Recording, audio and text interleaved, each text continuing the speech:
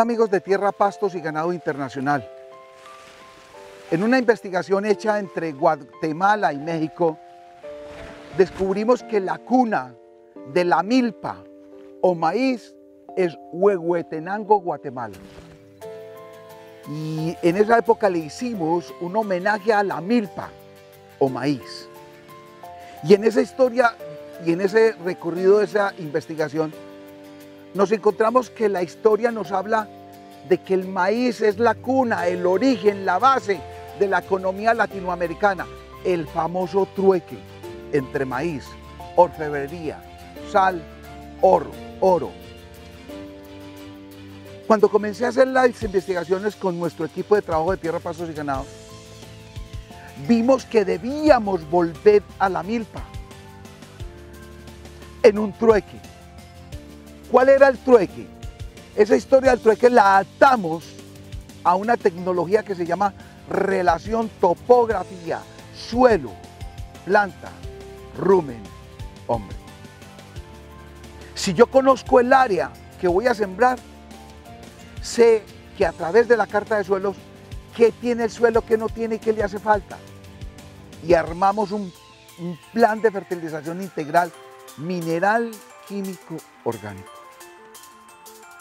Y desde ese punto de vista dijimos, bueno, si yo, yo tengo 10 horas de radiación solar, 10.5, 7, 8, con base en la altura sobre el nivel del mar, comenzamos a desarrollar nutrición de suelos, topografía, nutrición de suelos, evaluamos cuánto valía nutrir un metro cuadrado de suelos y cómo yo podía manejar lo que es maduración fisiológica de un pasto, de un maíz, y cómo lo podía llevar a maduración fisiológica y madurez de cosecha.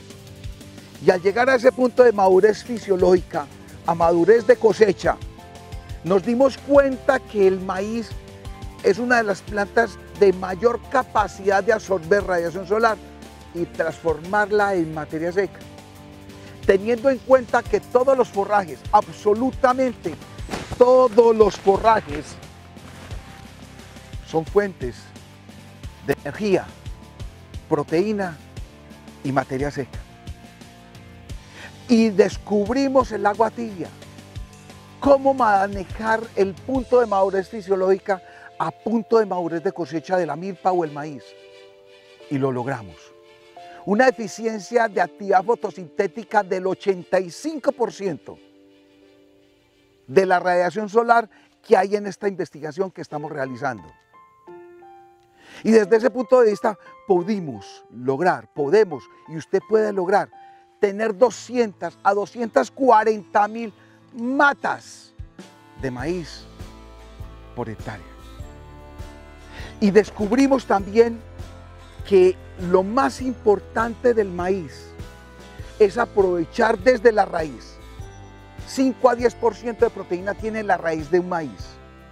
Y que podíamos aprovechar, inclusive desde la raíz hacia arriba, un potencial de energía, proteína y materia seca. ¿Esto qué quiere decir? Que cómo hacíamos para darle una alternativa a través de la milpa al ganadero de hoy.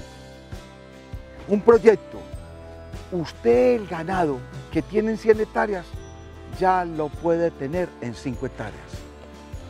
Y en ese paso de establecer los bancos de semilla de los pastos de corte, usted tiene 120 a 150 días. Pero si nos devolvíamos a la historia, recordábamos que la gente habla, no es que yo para montar un proyecto agroganadero necesito dos a tres años, que es que el periodo de gracia de una línea de crédito son dos años, y que yo comienzo a producir leche por ahí al año o al año y medio. Y cuando hicimos las investigaciones, digo, no tiene sentido que yo haga una línea de crédito y tenga que esperar año o año y medio para un periodo de gracia, para hacer la amortización del crédito, para producir carne y leche. Y esto no puede ser así. Lo que estamos viendo es radiación solar. el estómago de la planta es la hoja. Si la radiación solar que es la, eficiencia de la actividad fotosintética, la transforma en nutrientes para producir fibra, materia seca. Espectacular. Y lo descubrimos. comida en cantidad y en calidad producida a bajo costo.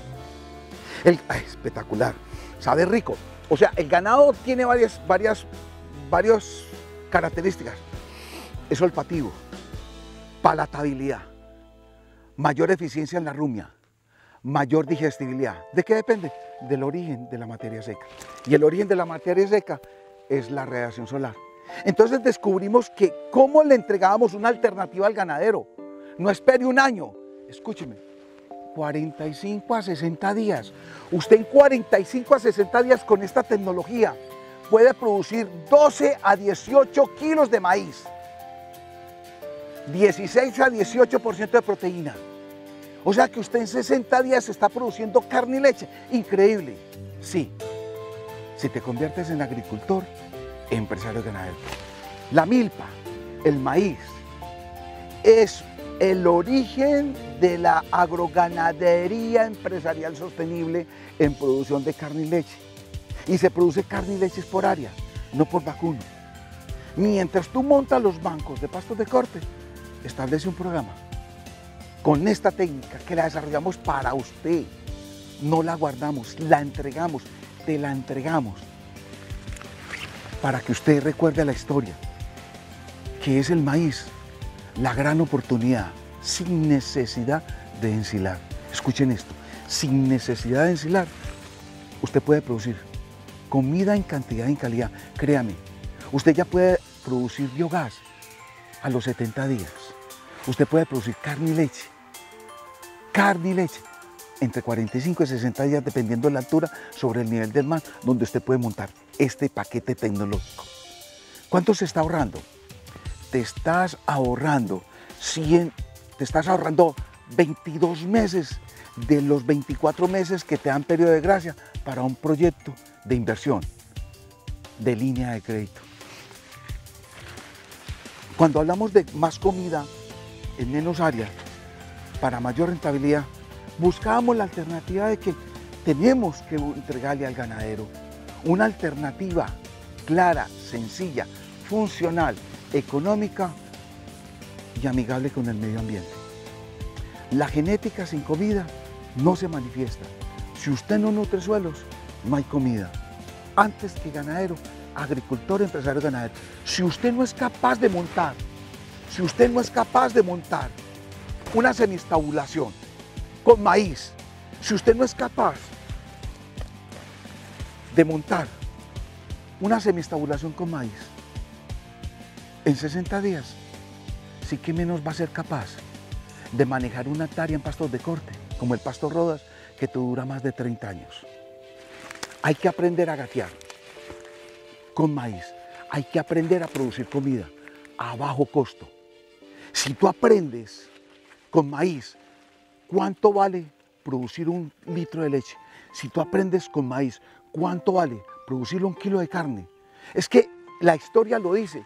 No sabemos cuánto consume en forraje verde una vaca. No sabemos cuánto consume en requerimiento de materia seca un novillo. Y en 60 días tú como agricultor, empresario ganadero, puedes lograr lo que la historia de la ganadería en Latinoamérica no ha podido lograr con sus teorías de que un animal se come entre el 10 y el 12% de su peso vivo y nadie lo ha demostrado, de que el requerimiento de materia seca por animal hoy en día está en promedio 2.5 a 3.5, teorías que nadie, nadie ha demostrado en renovación, recuperación y establecimiento de pasturas, tierra caliente, tierra templada y tierra fría, y usted está, en, a, está a las puertas de 45 a 60 días, darse cuenta cuánto forraje necesita una vaca, cuánto materia seca necesita un ovillo para lograr tener 25 vacas doble propósito por hectárea en pastos de corte. Y la primera escala, el primer paso, es convertirse en un agricultor, empresario ganadero. Tierra, pastos y ganado.